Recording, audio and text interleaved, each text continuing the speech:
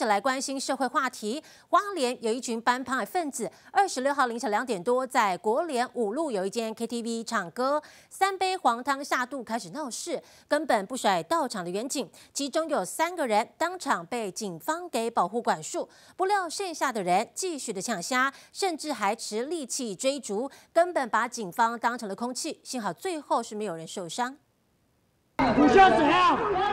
当街对着警方叫嚣，三杯黄汤下肚后，花莲大街上两派人马爆发冲突。警方到场，这群人根本无视公权力。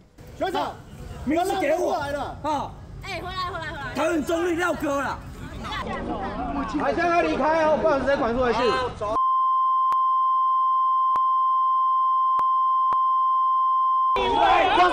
你要叫嚣是不是？你要叫嚣是不是？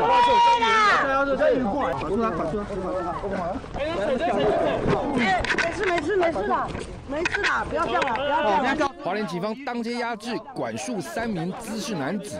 花莲市二十六日凌晨两点多，在国联五路一间 KTV 门口，两派人马三杯黄汤下肚后，在大街上对呛闹事。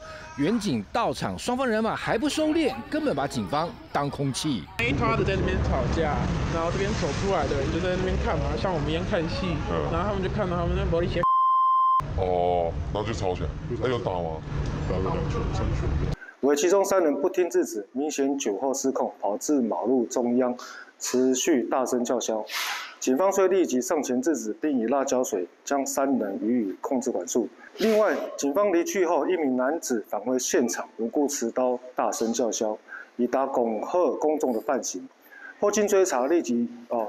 弃捕到案。警方驱散闹事群众后，其中一名孙姓男子再度持械返回现场寻仇，还随机追砍无辜路人，所幸无人因此受伤。原警在第二天随即将这名孙姓男子逮捕归案，侦讯后依妨碍秩序、恐吓公众等罪嫌移送地检署侦办。记者徐立行，华联报道。